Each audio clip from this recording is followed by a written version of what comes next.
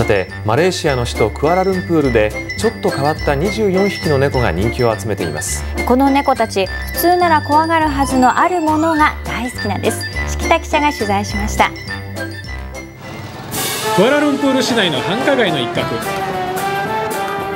何やら人混みができています。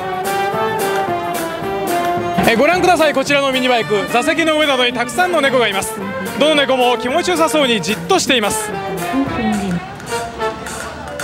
なんと猫の数は13匹もいます It's amazing they don't leave the bike. これらの猫を飼っているのはウェブデザイナーのジャミールさんですどの猫も捨て猫でした Uh, kira 16 tahun yang lepas Kira adik ni kira yang paling pertama lah ジャミールさんが拾ってくるのは病気にかかっていたり食べ物がなくて弱っている猫たちです。ジャミールさんの愛情のこもった世話を受けどの猫も今では元気に暮らしています。Ini baik Ini baik Come on Ini baik Go Up up up 夕方暑さが一段落するとジャミールさんは猫たちを連れて夕涼みに出かけます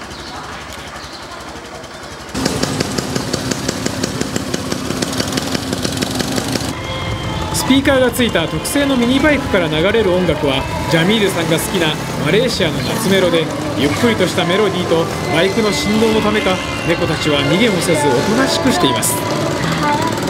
Manusia kurang Jarang ada orang nak kutip kucing yang terbuang Kan mereka lebih suka kucing-kucing yang cantik Kucing-kucing import Jadi macam mana dengan kucing-kucing yang terbuang Kucing-kucing di tepi jalan, di warung, di mana-mana 季節してできた都会の中のささやかな猫の楽園。今日も道行く人たちに和みを提供しています。